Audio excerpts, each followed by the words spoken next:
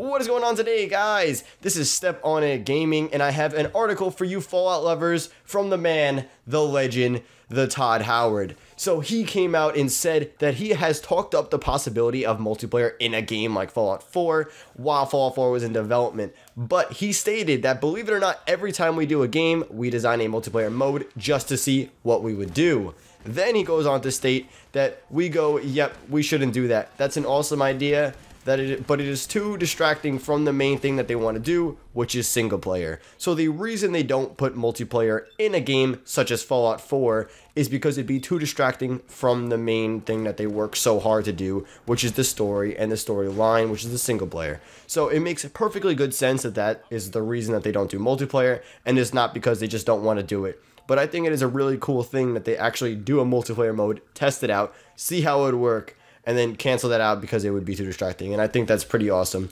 But that was an idea that ran through Todd Howard's mind. I thought that was pretty awesome. So I thought I'd share it with you guys on my channel. If you guys enjoyed the video, please leave a like. And then if you guys want to have your comments or have a conversation about it or give me your opinion on it, just leave it in the comments down below. And if you guys want to see me and hit that subscribe button,